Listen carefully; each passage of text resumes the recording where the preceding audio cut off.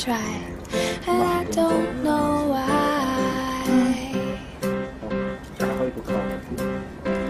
Slow it down, make it stop, or else my heart is going to pop.